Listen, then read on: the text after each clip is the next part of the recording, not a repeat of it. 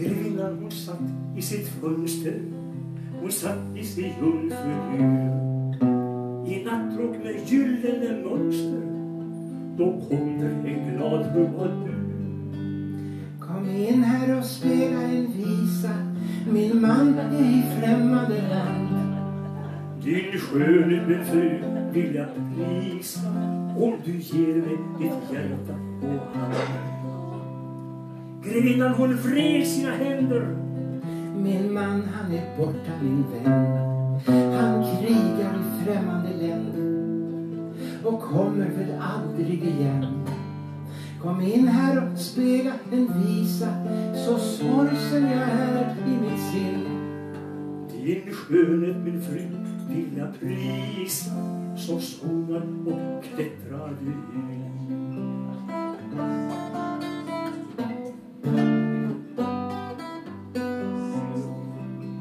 Knäppte på lutan och sade att ge mig ditt hjärta och hand. Och runt omkring livet hon hade ett rosenrött sidenband. Hon och gav trubaduren att sätta kring lutans kind. Då hördes det steg i tamburen och greven själv trädde in. Och skramlade med svärdet och skrattade vansinnigt och sade min sköna, hur är det? Min nådiga, hur är det fatt? Vad vem fan är den där figuren? Vad gör han i grevens härd? Han pekade på trubaduren med sitt långa och blodiga svärd.